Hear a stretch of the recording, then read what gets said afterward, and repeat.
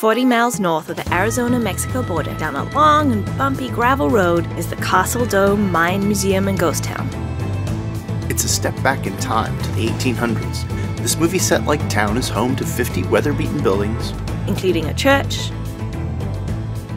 a bank, a brothel, the sheriff's office, a barber shop,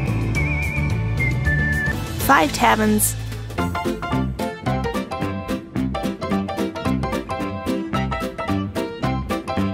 and mining equipment. We came with friends for the history, but what we'll take with us is the memories of the mannequins.